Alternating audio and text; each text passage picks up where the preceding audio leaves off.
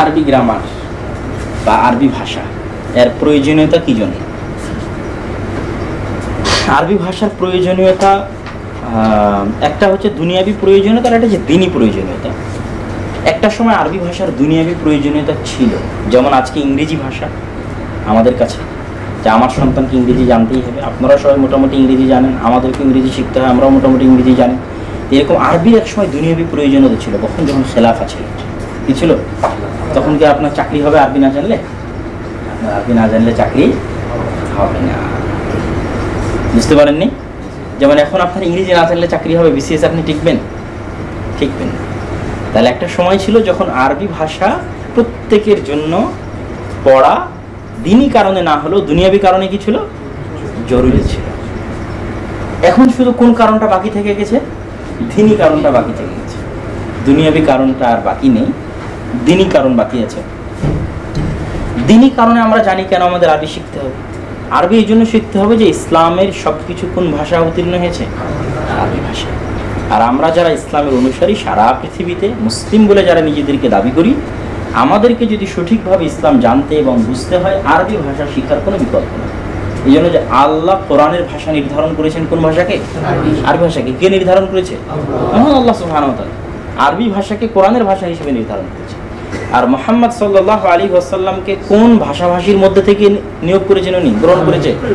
আরবি ভাষাভাষীর মধ্যে থেকে উনি বাছাই করেছেন, মোহাম্মদ সাল্লাহ এবং আরবি ভাষার সর্বোচ্চ বালাগা, সর্বোচ্চ ফাসাহা, তথা টপ লেভেলের সাহিত্য, সেটাই ওনার মজেদা বানিয়ে দিয়েছে। রাসুল হাসান মজেদা কি ছিল? আরবি ভাষার সাহিত্যের দিকটাই কিন্তু মজেদা আমরা যতই ইদানিং যুগে বিজ্ঞানের ব্যাখ্যাগুলো নিয়ে আসি সেগুলো মজেজার অন্তর্ভুক্ত হতে পারে, কিন্তু মৌলিকভাবে কোরআনের যেটা মজেজা এবং রাসুল সাল্লাহ সাল্লামের যেটা মজেজা, সেটা মূলত কি ছিল? আরবি ভাষার সাহিত্যের সর্বোচ্চ শিখর, যেটাই কোরআন চ্যালেঞ্জ করেছে যে তুমি চাইলে আমার মতো একটি আয়াত নিয়ে আসো। ফাতু বিসৌরাতি মিথলি একটি সুরা বা একটি আয়াত নিয়ে আসো কোরআনের মতো। কোরআনের একটি আয়াতের মতো। আর আসলে এটা মানুষের পক্ষে ইম্পসিবল এটা আপনি কেমনে বুঝবেন ইম্পসিবল আপনি যত বেশি আরবি শিখবেন, তত বেশি বুঝতে পারবেন যেটা তত বেশি ইম্পসিবল যত বেশি আরবি শিখবেন। তথা আরবি ভাষার যে যত বড় সাহিত্যিক, ও অত বেশি বুঝতে পারবে যে কোরআনের মতো একটা আয়াত বানানো আমার জন্য কত ইম্পসিবল বুঝতে পারেননি মনে তাহলে আপনি যত এখন তো আপনার মনে হচ্ছে কি, এটা আবার কেমন কথা যে কোরআনের মতো একটা আয়াতের মতো একটা আয়াত বানানো যাবে না? তাহলে আপনাকে এর জন্য ট্রাই করতে হবে আরবি ভাষায় দিয়ে, ঠিক আছে, আমি বানাবো। ট্রাই করেন। তারপরে এখন এবার আপনি আরবি ভাষা শিখবেন শিখবেন, যত বেশি শিখবেন, তত বেশি আপনার কি মনে হবে? অসম্ভব। তত বেশি ইম্পসিবল একটা আয়াতের পরে পরের আয়াত, আপনি ধারণা করবেন একরকম, আর কোরআনের আয়াত পড়বেন, তখন আপনি হয়রান হয়ে যাবেন। আপনাকে একটা সূরা বানাতে দিলাম, আপনি অবশ্যই একটার পর আর একটা বসাবেন। আল্লাহ তো একটার পর আরেকটা বসিয়েছে, তাই না? হুয়াল্লাহু আহাদ। আল্লাহুস সামাদ লাম ইয়ালিদ ওয়া লাম ইউলাদ। এটা একটার পর একটা বসছে। আপনাকে বললাম যে আপনি এরকম একটা বানান। তখন আপনি এটা বানাবেন। আপনার একটার পর একটা কেমন বসতেছে? আপনার বাক্যগুলো কেমন হচ্ছে? আপনার শব্দ চয়নগুলো কেমন হচ্ছে? আর তখন এবার আপনি কোরআনের একটা আয়াত পড়বেন, তারপরের আয়াত পড়বেন, তখনই আপনার মনে হবে, আমি আসলে কিছুই না, জিরো। এইটার মতো বানানো আমার পক্ষে সম্ভব নয়। তাহলে আরবি ভাষাটাই হচ্ছে ইসলাম এবং মোহাম্মদ সাল্লাহ আলী ওয়াসাল্লাম এবং পবিত্র কোরআনের সবচেয়ে বড় মজেদা।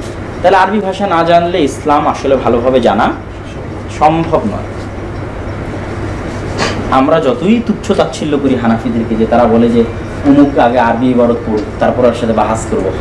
বলে না? যে আরবি ইবারত না পড়লে বাহাস করব না। আসলে কিন্তু ইসলামে জ্ঞানের মাপকাঠি আরবি ভাষার সাথে অবশ্যই সম্পৃক্ত। অবশ্যই সম্পৃক্ত। আমি কতটুকু হাদিস বুঝি, কতটুকু কোরআন বুঝি এটা অবশ্যই কিসের সাথে সম্পৃক্ত? আরবি ভাষার সাথে সম্পৃক্ত। আর কোরআনের মূল রূহ, মূল স্বাদটাও আরবি ভাষার সাথে সম্পৃক্ত। যতই কোরআনকে ট্রান্সলেট করা হোক হাজার বার ট্রান্সলেট করা হোক, লক্ষবার ট্রান্সলেট করা হোক, সারা পৃথিবীর সবচেয়ে বড় বড় ভাষাবিদদের দিয়ে ট্রান্সলেট করা হোক। ধরেন আমি রবি ঠাকুর, কাজী নজরুল ইসলাম, সৈয়দ মুস্তফা আলী, এদেরকে বাংলা ভাষা সাহিত্যে যেমন তারা টপ লেভেলের এদেরকে আরবি ভাষা টপ লেভেলের বানিয়ে দিলাম। যাদের বললাম, তোমরা এবার বাংলায় অনুবাদ করো। কোনো কমতি থাকা যাবে না। কথা বলছেন নি? এরকম আরও হাজার বড় বড় সাহিত্যিক অ্যাড হলো কোরআনের অনুবাদ করার জন্য। তো কোরআনের অনুবাদে ওই রুহ, ওই স্বাদ, ওই মজা পাওয়া যাবে না, যেটা কোরআনের আরবি ভার্সনের মধ্যে আছে। তাহলে আমাদেরকে আরবি ভাষা দিনই কারণে অবশ্যই শিখতে হবে। এই জন্য ইবনে তাইমিয়া রহমাল্লাহ বলেছে, প্রত্যেক মুসলমানের জন্য আরবি ভাষা শেখা ফরজ, ফাজা আয় এটি ইবনে তাইমা রহমাল্লাহ ক্লিয়ার কাট ফতোয়া। এবং এই ফতোয়ার পক্ষে অনেক শক্ত দলিল, মজবুত দলিল আছে। অ্যাটলিস্ট কোরআন পড়তে পারার মতো আরবি জানা প্রত্যেক মুসলমানের জন্য ফরজ, এতে কোনো সন্দেহ নেই। যদিও কোরআন বুঝতে পারার মতো আরবি জানাও মুসলমানদের জন্য ফরজ। কোরআন বুঝতে পারার মতো আরবি জানা। এবার আমরা আসি আরবি ভাষার গ্রামার কীভাবে আসলো।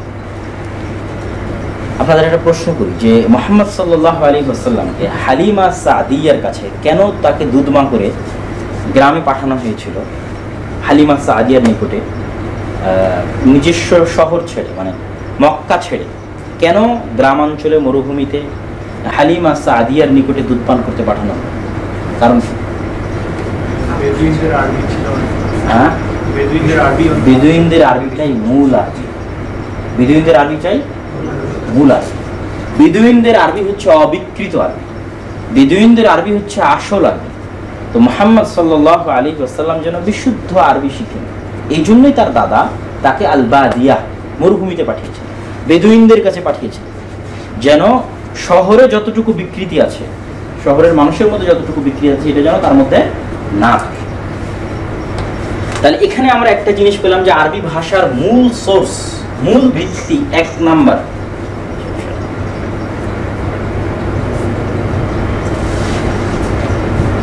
আরবি ভাষার মূল সোর্স এবং মূল ভিত্তি হচ্ছে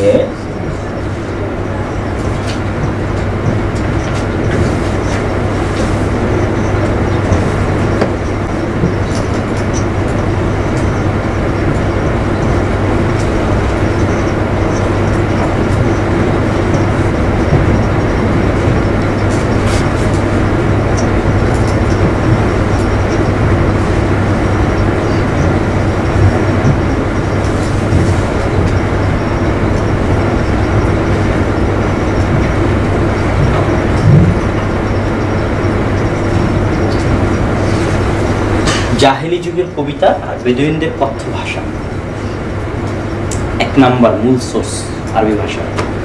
দুই নাম্বার, যখন কোরআন আসলো, কোরআন কিসের উপর অবতীর্ণ হলো? ওই বেদুইনদের যে মূল ভাষা ছিল আরবি, সে আসল ফাসিহ, বালিগ ভাষার উপরে কোরআন অবতীর্ণ। কোরআন অবতীর্ণ হওয়ার মাধ্যমে আরবি ভাষায় স্থিতিশীলতা আসে। স্থিতিশীলতা মানে আমাদের বাংলা ভাষা পরিবর্তনশীল। বাংলা একাডেমি একরকম বানানোর নিয়ম তৈরি করতেছে, ভারতের কলকাতা ওরা একরকম বানানোর নিয়ম তৈরি করছে আজ থেকে পঞ্চাশ বছর আগে একরকম ছিল, তার থেকে একশো বছর আগে একরকম ছিল। কখন সংস্কৃত ভাষার মধ্যে ছিল। আরও পঞ্চাশ বছর পরে চেঞ্জ হবে, তার কোনো গ্যারেন্টি নাই। ভারতের পশ্চিমবঙ্গের ওদের পহিলা বৈশাখ, আমাদের পহিলা বৈশাখ আলাদা। ওদের বাংলা বর্ষপঞ্জিকা আমাদের বাংলা বর্ষপঞ্জিকা আলাদা। তাহলে এই যে প্রত্যেকটা ভাষা পরিবর্তনশীল ইংরেজিও একটি পরিবর্তনশীল ভাষা। আরবি অপরিবর্তনীয় ভাষা। কেন অপরিবর্তনীয়? কে অপরিবর্তনীয় করে দিয়েছে? কোরআন কে? কোরআন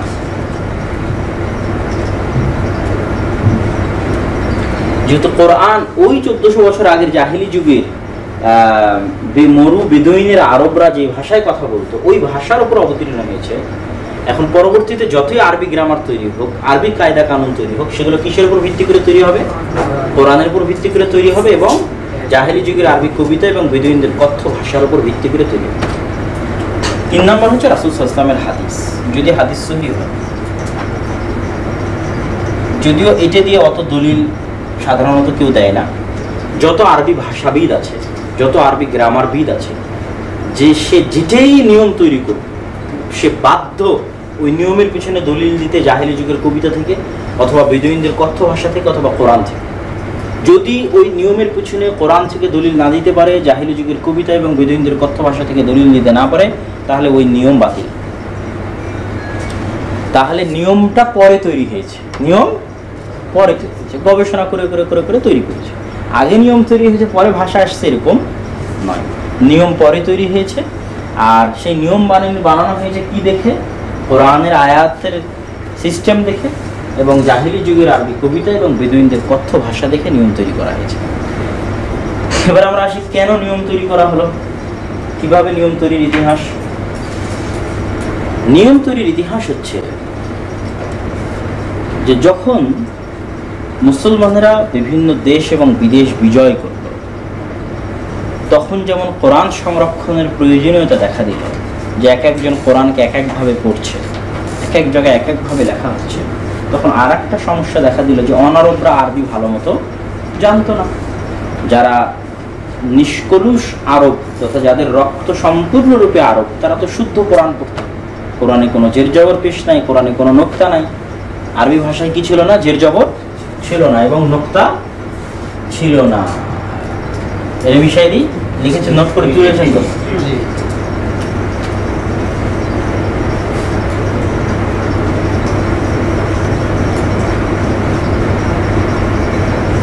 আরবি ভাষায় কোনো এক জের জবর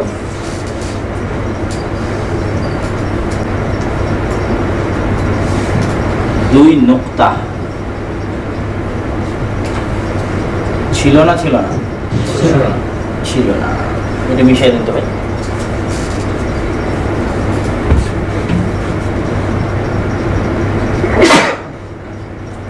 এখানে ক্লিক করো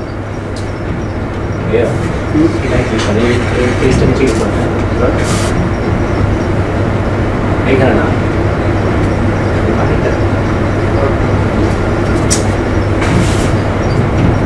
নিচেতে ক্লিক নিচেতে ক্লিক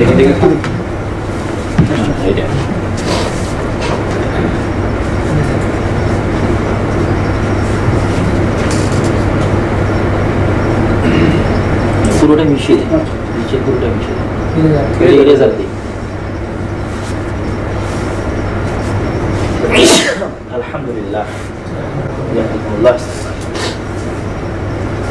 আচ্ছা নোক্তাবিহীন ভাষা যখন হবে এটা ধরেন বা এটা তা এটা সা এগুলোতে যদি নোক্তা না থাকে তো তিনটেই দেখতে কীরকম লাগবে একই রকম লাগবে আসলে একই রকম ছিল এটা এখানে ছিল না। এটা এখানে ছিল না। এটা এখানে ছিল না। তারপরে জের জবর। এখানে ধরেন আমরা আচ্ছা নোক্তা দিলাম। এবার এখানে জবর দিলাম, এখানে জের দিলাম, এখানে পেজ দিলাম। এই জের জবর পেজটা আসলে কীরকম বাংলার এই যে রস্যকার বাংলার এই যে আকার, বাংলার এই যে একার, বাংলার রস্যইকার বাংলার দীর্ঘইকার। তো বাংলায় যদি আপনি এগুলো উঠাই দেন কথার কথা, আমি উঠিয়ে দিলাম একার এখানে নাই।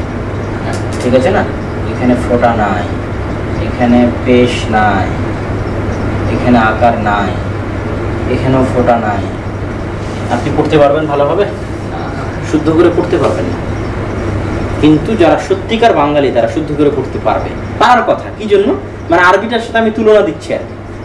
তাহলে যারা সত্যিকার অ্যারাবিয়ান তথা আগের যুগের যারা আরবি ভাষা জানে তারা এই জের জবর পেশ মানে রস্যইকার ঋষিকার দীর্ঘিকার রস্যকার এগুলো ছাড়াই আরবি পড়তো। নোক্তা বুঝেননি? নোক্তা ছাড়াই আরবি পড়তো। সেটা তো কীভাবে পড়তো? যখন আপনি জানবেন তখন আপনিও পারবেন অটোমেটিক না না ওটা তার অটোমেটিকই পারতো। এটার জন্য কোনো পাণ্ডিত্য লাগতো না। আমাদের সেটা শিখতে হচ্ছে। এবং আমরা যখন শিখে ফেলব ভালোভাবে তখন আমাদেরও আর জের জবর এবং নোক্তা লাগবে না। হ্যাঁ হ্যাঁ সম্ভব।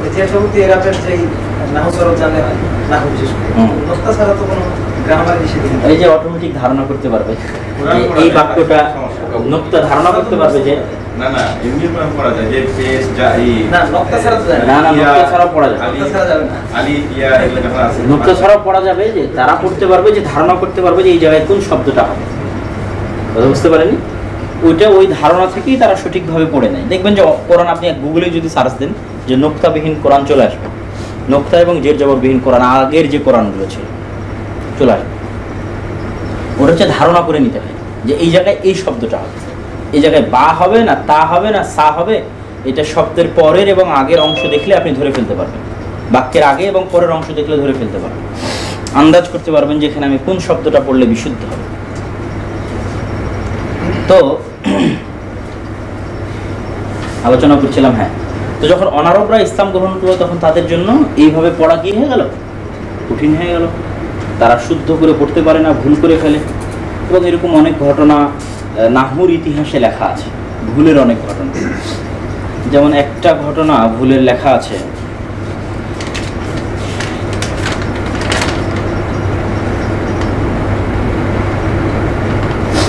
ইন্নাল্লাহ বারিউম মিনাল মুশরিকিনা ওয়া রাসূলিহি ওয়া রাসূলুহু ঠিক আছে? যে আল্লাহ সুবহানাহু তাআলা এবং তার রাসূল মুশরিকদের থেকে মুক্ত। এখন ওয়া রাসূলুহুতে যদি আমরা জের দিয়ে পড়ি, তাহলে আল্লাহ সুবহানাহু তাআলা মুক্ত মুশরিকদের থেকে এবং আল্লাহ রাসূল থেকে। এটা অর্থ। যেহেতু মুশরিকদের পরে রাসূলকে যুক্ত করা হয়েছে ইন্নাল্লাহ বারিউম মিনাল মুশরিকিনা ওয়া রাসূলি যে কেউ আসলে অ্যাট ফার্স্ট ও এটাই পড়বে যে মিনাল মুশরিকিনা ওয়া রাসূলি। যে আল্লাহ মুক্ত কাদের থেকে? মুশরিকদের থেকে আর আল্লাহ রাসূল থেকে? নাউজুবিল্লাহ। পুরো অর্থটাই পরিবর্তন হয়ে। যায় তা একজন এভাবে পড়েছে ওমরাজুল্লাহ তারা নত ধর্ম তুমি পড়ল কেন? পড়তে তো হবে আসলে এভাবে। এরকম আরও অনেক ঘটনা আছে। আবুল আসওয়াদ আর দুয়ালি এনাকে বলা হয় আরবি গ্রামারের প্রথম যিনি লেখক। কি নাম? আবুল আসওয়াদ আর দুয়ালি ওনারও এরকম ঘটনা আছে।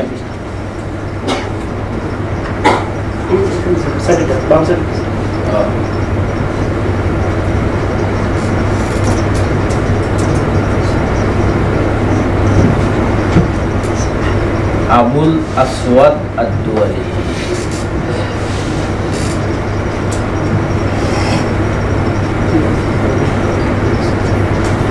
মিটে গেল রে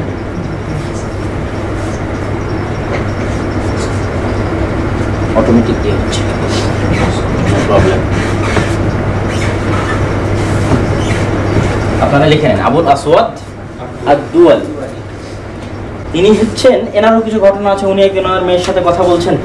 তো ওনার মেয়ে আরবিতে ভুল করেছে।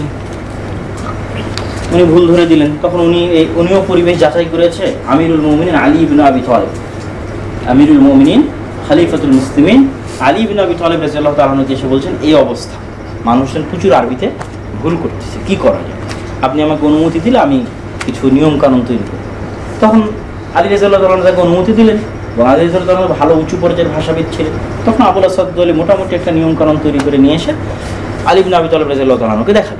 তখন উনি বললেন যে উনহু হাদান নাহু তুমি এই পথে, এই রাস্তায় চলো। মানে আরও সুন্দর করে নিয়ম কানুন তৈরি করো। এই যে নাহু হাদান নাহু ওখান থেকে নাহু শব্দটা আসছে। আরবি গ্রামারের একটা অংশ কি? নাহু। আরবি গ্রামারের একটা অংশ কি? নাহু। এটা মিশিয়ে দেন তো ভাই। আপনারা উঠানোর মাথা দিয়ে উঠিয়ে নেন মিশিয়ে দেন পুরোটা।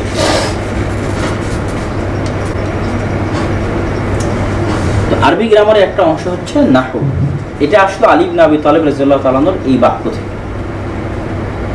তো পরবর্তীতে নাহু শাস্ত্র আরও ডেভেলপ করে কখন?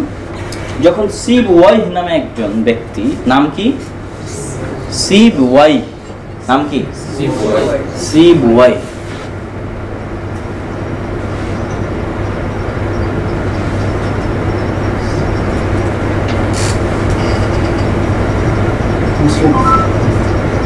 হ্যাঁ মুসলমান। সিব ওয়াই নামে একজন ব্যক্তি হাম্মাদ ইবন সালামা রাজিউল্লাহ রাহিমাহুল্লাহ তার হাদিসের দার্সে আসলেন হাদিসের দার্সে এসে হাদিসের এবারত ভুল পড়তেছে কেন? সিব ওয়াই ছিলেন আজামি। লাইসা আরবে। আরব ছিলেন না, বরং আরব ছিলেন। ফার্সি ছিলেন, মিনাল ফুরস, পারস্য, ইরান। তখন হাম্মাদ বিন সালাম রাজিউল্লাহ তার থেকে হাদিস ভুল করেছে। হাম্মাদ বিন সালামা বলছে, তুমি হাদিস ভুল করছ এবারও ঠিক হচ্ছে না। যেমন আপনারা বলছেন যে কেমনে জের জবর পেশ ছাড়া হবে। তো জের জবর পেশ ছাড়া তো ওনারও পড়তে পারবে না, এটাই স্বাভাবিক। নোক্তা ছাড়া ওনারও পড়তে পারবে না, এটাই স্বাভাবিক। ভুল হচ্ছে। তখন ওটা ওনার অন্তরে খুব আঘাত লাগে। যে আমি ঠিক মতো হাদিসই সঠিকভাবে পড়তে পারি না, পরের জ্ঞান অর্জন করে আর কি করব? আগে হাদিস সঠিকভাবে যেন পড়তে পারি জ্ঞান শিখব। তখন উনি চলে যান বাসরার একদম গ্রামাঞ্চলে, যেখানে কারা থাকে? মরু বিদয়ীরা থাকে যাদের ভাষা হচ্ছে আসল মূল আরবি ভাষা। তাদের কাছে অনেক বছর থেকে তিনি মূল আরবি ভাষা শিখে আরেকজন বড় আরবি ভাষাবিদ খালিল ইবিন আহমদ, খালিল আহমদ। তার নিকট থেকে আরবি ভাষা শিখে উনি প্রথম আরবি নাহুর উপর, আরবি গ্রামারের উপর একটা বই লেখেন, যে বইয়ের নাম হচ্ছে আল কিতাব বইয়ের নাম কি? আল কিতাব যখনই ইসলামের কোনো আলোচনায় শুধু কিতাব ব্যবহার হবে কার কিতাব ওটা উল্লেখ করে ব্যবহার হলে তো হয়ে গেল যে কিতাব আবদুল্লাহ, কিতাব বখারি, কিতাব মুসলিম হয়ে গেল। কিন্তু কোনো নাম ছাড়াই যদি শুধু কিতাব ব্যবহার হয়, তাহলে কার কিতাব উদ্দেশ্য? সিবয় সিবয়ের বইয়ের নাম কি? আল কিতাব তাহলে উনি প্রথম আরবি ভাষাকে, আরবি গ্রামারকে এবং নাহু শাস্ত্রকে কি করেন? একটা নিয়ম কানুন এবং একটা সিস্টেমের মধ্যে আবদ্ধ করেন। তো এটা গেল মোটামুটি নাহুর বিষয়ে আলোচনা। এখন নাহু আর সরফ এই দুটোর মধ্যে পার্থক্য আরবি গ্রামারের একটা অংশ হচ্ছে নাহু, আর একটা অংশ কি? সরফ এই পার্থক্যটা দেখব আমরা, দেখার পরে আবার কত বাজে। মুখলেশ ভাই? দশ মিনিট আছে। এই পার্থক্যটুকু দেখলেই মোটামুটি আজকের দাস আমরা কমপ্লিট মনে করতে পারি।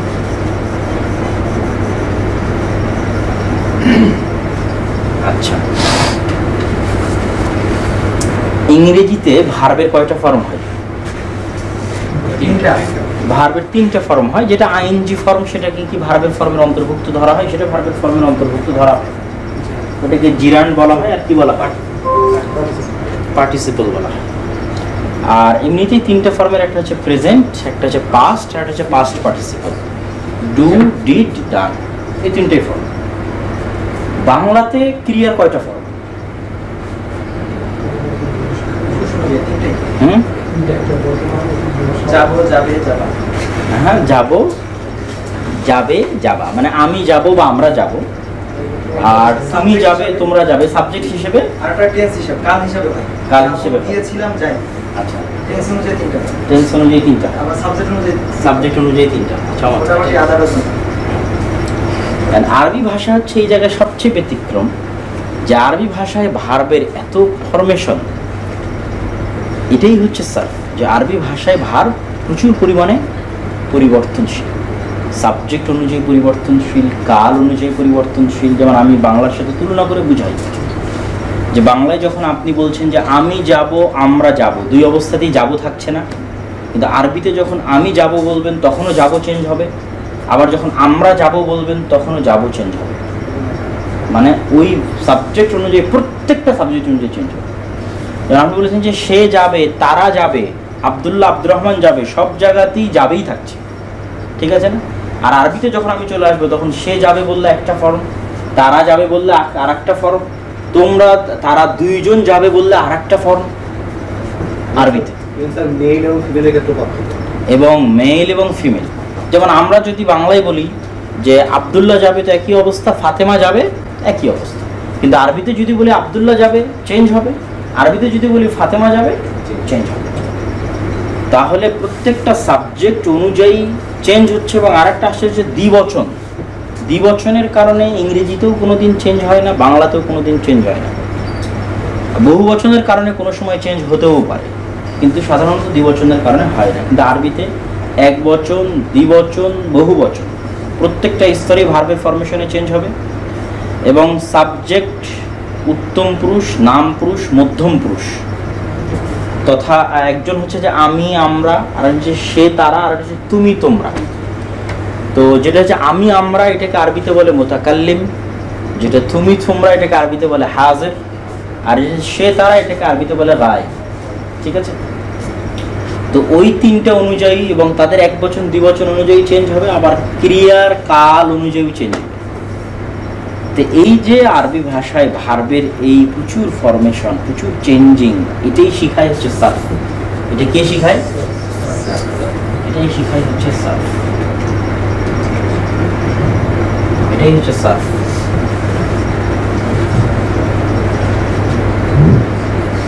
তাহলে সার্ফের কার্যক্রম হচ্ছে শব্দ নিয়ে। সার্ফের কার্যক্রম কি? শব্দ নিয়ে। এবং বিশেষ করে ভার্ব নিয়ে ফেল নিয়ে। আরও অন্যগুলো নিয়েও করে, যেমন ইসমে ফাইল, ইসমে মাফরুল ইসমে তাফজিল, ওগুলোকে ইসিমি নাম দেওয়া হয়েছে। সেগুলোর মধ্যেও পরিবর্তন হয়, প্রত্যেকটা সিস্টেম অনুযায়ী পরিবর্তন হয়। কিন্তু বেশিরভাগ পরিবর্তনটা থাকে কি কেন্দ্রিক? ভার্ব কেন্দ্রিক, ক্রিয়া কেন্দ্রিক। তাহলে সার্ফের আলোচনার মূল বিষয়বস্তু কি? শব্দ। সার্ফের আলোচনার মূল বিষয়বস্তু শব্দের পরিবর্তন। কিসের পরিবর্তন? শব্দের পরিবর্তন। সাবজেক্ট অনুযায়ী পরিবর্তন, কাল অনুযায়ী পরিবর্তন, ঠিক আছে? মুজাক্কার, মোয়ান্নাস মেল ফিমেল অনুযায়ী পরিবর্তন। শব্দের মধ্যে এই পরিবর্তনটা শেখাই হচ্ছে সাফ। আর নাহু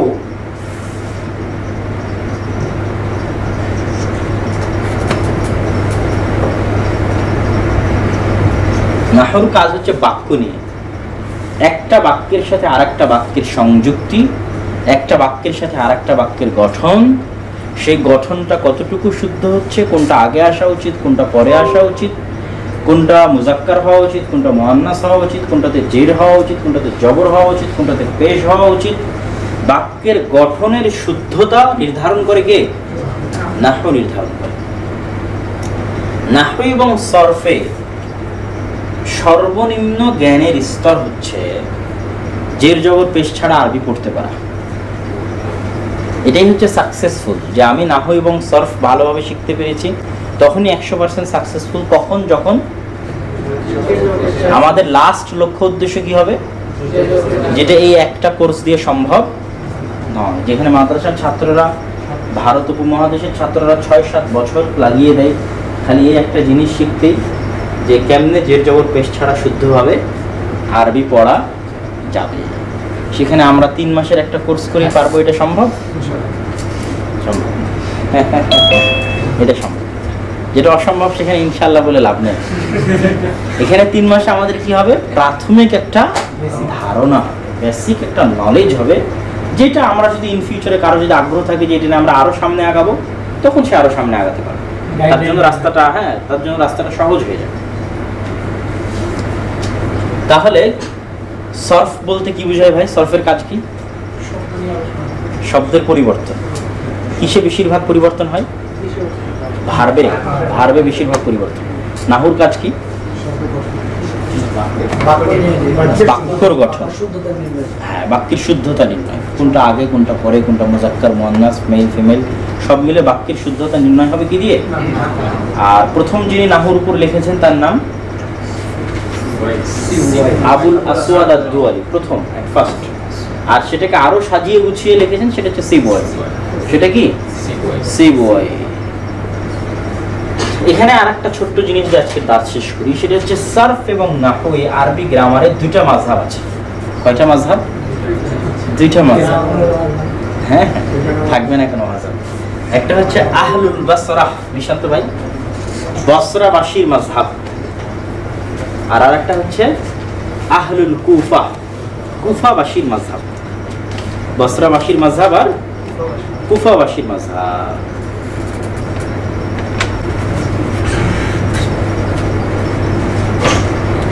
সর্বপ্রথম যে মাযহাবটা অস্তিত্বে এসেছে সেটা বসরাবাসী, সেটা হচ্ছে সিবয় এরাই সর্বপ্রথম বাক্যের গঠন প্রণালী, শব্দের গঠন প্রণালী ইত্যাদি সর্বপ্রথম লেখালেখি আলোচনা তারাই করে এবং তারাই নিয়ম কানুন তৈরি করে। পরবর্তীতে কুফাবাসীদের মধ্যে ইমাম কিসাই বসরার মধ্যে হচ্ছে সিবই আর কুফার মধ্যে হচ্ছে কিসাই বড় ইমাম আর যারা। ইমাম কিসাই এবং তার যারা অনুসারী, তারা হচ্ছে কুফা। আর সিবই কারা? সিবই হচ্ছে বসরা। বসরা, কুফা কিসের নগরী? ইরাকের নগরী। ইরাকের দুটি নগরী, একটার নাম কুফা আর একটার নাম বসরা। তাহলে মূলত আরবি গ্রামার সুন্দর করে সাজানো গুছানোটা হচ্ছে সিবই তথা বসরা। তাদের পরে আসে হচ্ছে কুফাবাসী অস্তিত্ব তারা কিছু কিছু জায়গায় মতভেদ করে তাদের সাথে নিয়ম কানুনে সেই মতভেদগুলোর পিছনে তারা দলিল দেয়। আর দলিলের দুটোই জায়গা আমরা জানি, ওর বাইরে কেউ যেতে পারবে না। ওখান থেকে যদি দলিল না দিতে পারে, তাহলে তার নিয়ম কি বলে গণ্য হবে? বাতিল বলে গণ্য হয় জাহিলি যুগের কবিতা থেকে দলিল দিতে হবে। দেখো আমি এটা বলছি, এটার প্রমাণ দেখো, এরকম। এইভাবেই দেখো একটা কবিতা আছে। অমুক কবি এইভাবে বলে গেছে। তাহলে অবশ্যই শুদ্ধ বলেই তো উনি বলে গেছে দেখো, আমি এই নিয়মটা বলছি, এটা আর- আরব যুগে বেদুইনরা তাদের গল্পে এই কথাটা বলতো। তাদের মধ্যে এরকম প্রবাদ প্রচলিত ছিল। তাহলে এটা শুদ্ধ দেখেই তো তাদের মধ্যে এটা প্রচলিত ছিল। দেখো, আমি এই নিয়ম বলছি, এই নিয়ম দেখো কোরআনে ভাষার সাজানোর স্টাইলটা দেখো, ওই আয়াতে এরকম। তাহলে যদি আমার এটা বাতিল হতো, তাহলে কোরআনের আয়াতটা এভাবে আসতো না। তাহলে সবগুলোরই দলিল গিয়ে কোথায় ঠেকবে? জাহেলি যুগের কবিতা বেদুইনদের কথ্য ভাষা তাদের প্রবাদ বাক্য তাদের পরস্পরের মধ্যে আলোচনা যেগুলো ইতিহাসের নকল হয়ে এসেছে আর এটা হচ্ছে পবিত্র কোরআনের বর্ণনা। আর সর্ব লাস্টটা হচ্ছে হাদিস। জাহিলি যুগ বলতে কোন যুগটাকে? রাসুল ইসলামের আগের যে যুগ। ওনার জন্ম বা ওনার মৃত্যুর আগ পর্যন্ত যে যুগটা। ওনার জীবদ্দশায় যত কবিতা এবং ওনার আগের যত কবিতা অমুসলিম বেশিরভাগই অমুসলিম। যেমন আসাবা আল মোয়াল্লাকা যেটা যে সাতটা ঝুলন্ত কবিতা শ্রেষ্ঠ পুরস্কার পাওয়ার কারণে কাবার ঘরে কি করে রাখো? ঝুলিয়ে রাখা। ওই সাতটা শ্রেষ্ঠ কবিতা আরবি ভাষার দলিল। ওই সাতটা শ্রেষ্ঠ কবিতায় কীভাবে আরবি ভাষা লেখা আছে? ওখান থেকে নিয়ম তৈরি হবে। আমার নিয়মের দলিল সাবা মোয়াল্লাকায় গিয়ে দেখো, এইভাবে আরবি কবিতা আছে। এইভাবে অমুক জাহিলি কবি আরবি কবিতা লিখেছে। যদিও তারা কাফের, যদিও তারা মুসলিম কিন্তু ভাষায় তারাই গুরু। আরবি ভাষার সাক্ষ্য এবং প্রামাণ্য তারাই। তাদেরই কবিতা। কেন তাদের ভাষায় কোরআন অবতীর্ণ এবং কোরআন তাদেরকে চ্যালেঞ্জ করেছে। তাদের কবিতাকে চ্যালেঞ্জ করেছে। একই সিস্টেমে একই নিয়মের মধ্যে থেকে। তো কোথায় আমরা আলোচনা করছিলাম? যে কুফাবাসী, তাহলে মূলত আসে বসরা, তারপরে হচ্ছে তাদের সাথে একটু মতভেদ করে কারা? ইমাম কিসাই, যারা কুফা। পরে আর একটা মাঝাব তৈরি হয় বাগদাদে। তিনটাই মাঝাব আর একটা মাঝাব তৈরি হয় বাগদাদে, তারা কি করে? তারা কুফার বসরার মধ্যে সামঞ্জস্য করার চেষ্টা করে। কুফার বসরার মধ্যে সামঞ্জস্য করা।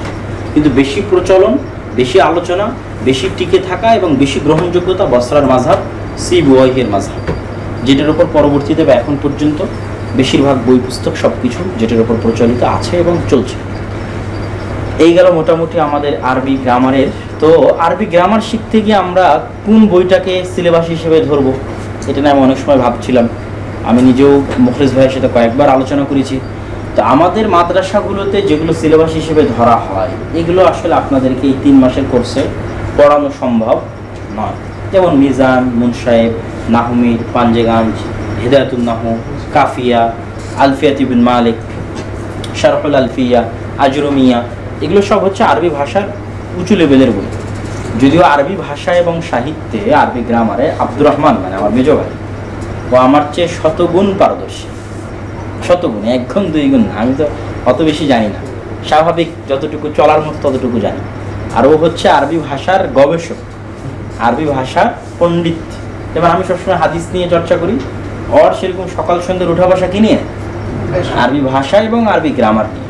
এবং ওর কাছে আরবি ভাষা এবং গ্রামারের যে যে বই আছে বাংলাদেশে খুব কম মানুষের কাছে সে বইগুলো আছে। কম আলেমুল আমার কাছে সে বইগুলো আছে আমি দাবি করে বলতে পারি। তো আসলে এই এই কোর্স করানোর বেশি যোগ্য আব্দুর রহমানই মুখলিস ভাই আমাকে দায়িত্ব দিয়েছে। তা আমি করাচ্ছি কি জন্য? আমারও কিছু শেখা হবে। তো কি আলোচনা করছিলাম? তো সেই হিসেবে সিলেবাস বই।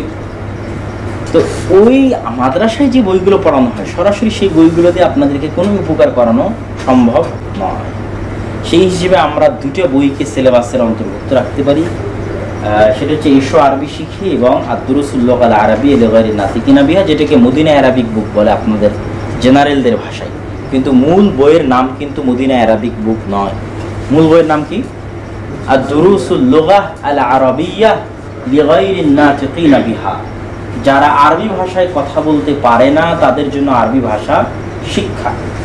সেটা কি শর্টকাট নাম কি দেওয়া হয়েছে? Madina Arabic book one two three চতুর্থ খণ্ড আছে, কিন্তু চতুর্থ খণ্ড সেভাবে চলে না আমাদের দেশে। এটা মদিনা ইসলামী বিশ্ববিদ্যালয়ে আরবি ভাষা শেখানোর জন্য পড়ানো হয়, মদিনা আরবিক আর এসো আরবি শিখিটা হচ্ছে বাংলাদেশের একজন দেওবন্দি কওমি ঘরানার একজন আলেম, আবু তাহির মিসবাহ, হাফিজাহুল্লাহ। ওনার লেখা, এটাও সুন্দর। আমি পড়েছি, পড়িয়েছি অনেকবার। এটাও থেকেও আমরা উপকার নিতে পারি। তো অন্তত পক্ষে আমরা Madina Arabic book part one এবং এসো আরবি শিখি প্রথম খণ্ড। এই দুইটা বই আমরা আমাদের ক্লাসে রাখব। এই দুইটা বইয়ের সাথে সাথে আমরা প্রয়োজনীয় আরবি ভাষার নিয়মকানুন সরফ থেকে প্রয়োজনীয় নাহু থেকে প্রয়োজনীয় মানে দুইটা থেকে মিক্সিং করে চলার মতো প্রয়োজনীয় প্রয়োজনীয় অংশ আমরা কি করব? শিখতে থাকব। আর অবশ্যই যারা আরবি জানে না পড়তে তাদের জন্য কিন্তু এই কোর্স করে লাভ নেই। মানে আরবি পড়া জানা আলিফ বা তা জিম হা সেই বই কোথায় পাবো? সব জায়গায় পাওয়া যাবে, অনেক পরিচিত বই। বাংলা বাজারের যে কোনো দোকানে পাওয়া যাবে। দুটো বই খুব পরিচিত, সব দোকানেই পাওয়া যাবে। তো যারা আরবি আমরা পড়তে জানি না, তাদের কিন্তু এই কোর্স করে কোনো লাভ নাই। তাদের কি কোর্স করতে নুরানিতে গিয়ে ভর্তি হতে হবে, আরবি কায়দায় গিয়ে ভর্তি হতে হবে, যেখানে তারা এক ফার্স্ট কি শিখবে? আরবি পড়া শিখবে, শুদ্ধ কোরআন পড়াটা শিখবে। জের জবর সহজ এটা পড়া, নুক্তা সহজ এটা পড়া, সেটা। আর আমরা সেকেন্ড স্টেপে আসতেছি, কি শিখতে? জের জবর বিহীন শিখতে এবং নোক্তাবিহীন শিখাতে তো আসলে ওইটা কথা না, জের জবরটাই মূল উদ্দেশ্য। জের জবর বিহীন শিখতে আমরা আসছি।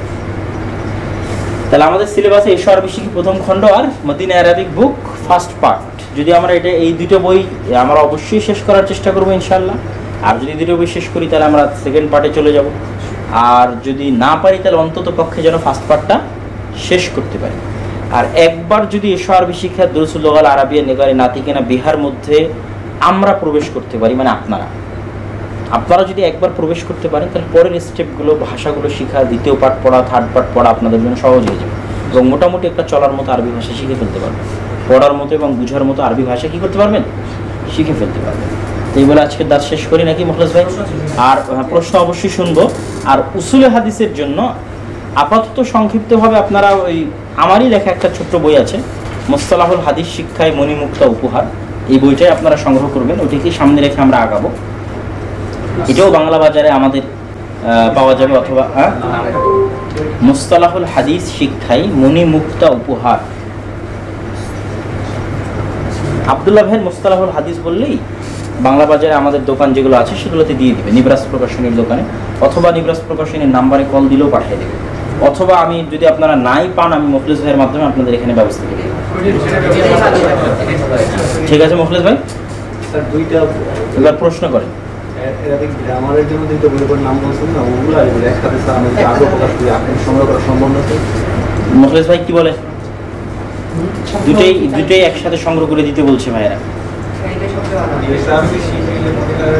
সর্বশিক্ষী ফার্স্ট পার্ট কে কয়জন স্টুডেন্ট কে কে নিবে, সবারগুলো আপনি কিনে তাদেরকে সাপ্লাই করে তারা আপনাদের টাকা দিয়ে দেবে। আর কোনো প্রশ্ন?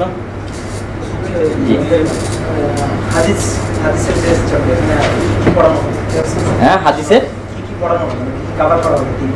উসুলে হাদিসের মৌলিক জ্ঞান কভার করা। হ্যাঁ? বারাকাল্লাহ। উসুলে হাদিসের মৌলিক সব কিছু আমরা কভার করব। অন্তত প্রত্যেকটা টার্মিনোলজি প্রত্যেকটা যে পরিভাষা আছে উসুলে হাদিসের জ্ঞানের প্রথম স্তরটা কি? মহাদ্দিসরা যে পরিভাষাগুলো ব্যবহার করতে ওই পরিভাষাগুলো জানা। এটা প্রথম স্তর। যেমন আমি যদি রাজশাহীতে যাই তাহলে রাজশাহীতে তারা কি বললে কি বুঝায়? কোনটা বললে কোনটা বুঝায়? এটা জানা আমাদের জন্য জরুরি না? একটা মাদ্রাসায় গেলেন। তাদের এখন আউয়াল জামাত, দম জামাত, সোম জামাত, আপনি কিছু বুঝেন না। তাহলে আউয়াল বলতে কি বুঝায়, দম বলতে কি বুঝায়, এটা জানা কিন্তু প্রথমে জরুরি। নুরানি বলতে কি বুঝায় ফোরকানিয়া বলতে কি বুঝায়, হাফিজিয়া বলতে কি বুঝায় কৌমিয়া বলতে কি বুঝায়, আলিয়া বলতে কি বুঝায়, এটা জানা কিন্তু প্রথমে জরুরি।